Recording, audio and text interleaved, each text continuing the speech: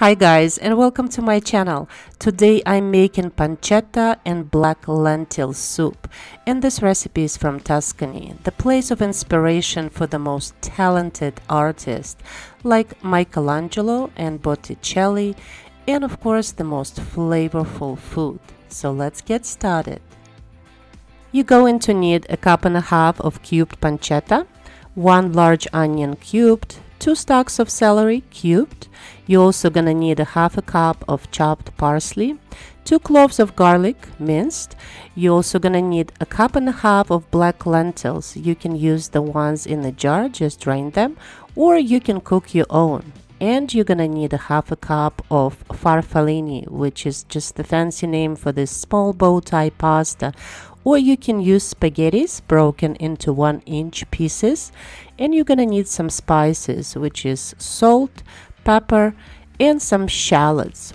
And you will need 2 liters which is about 8 cups of vegetable broth. We're gonna start by heating up a medium-sized pot and we're gonna dry fry our pancetta.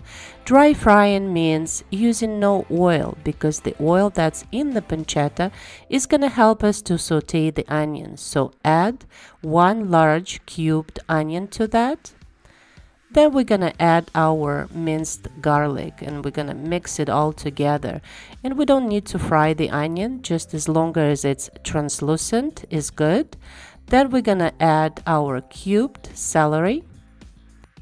Just saute it together for a couple more minutes and we're ready for our spices, which are pretty simple. It's just salt, pepper, and dry freeze shallots. And shallots are gonna add a nice flavor to the soup. Now it's time for black lentils and I use the ones from the jar. I just drained them and washed them and we can add them to the soup.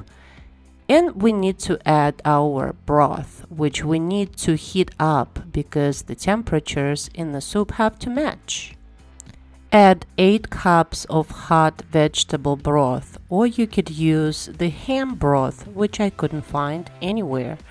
And we're gonna close the lid and simmer it for about 20 minutes. In 20 minutes, we're just gonna mix the soup and it's time for our pasta.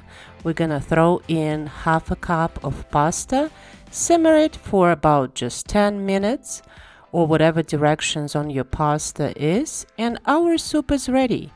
The last and finishing touch is fresh parsley. Then we're gonna turn off the heat and let our soup rest for just 5 minutes, and it's ready to be served.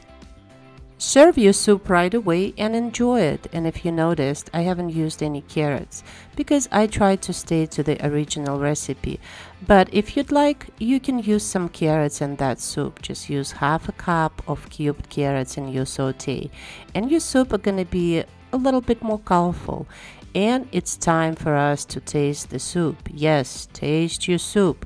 And it tastes absolutely delicious. I hope you like this recipe brought to you from a beautiful region of Tuscany. Thank you so much for watching. Please like and subscribe and I will see you soon. Bye.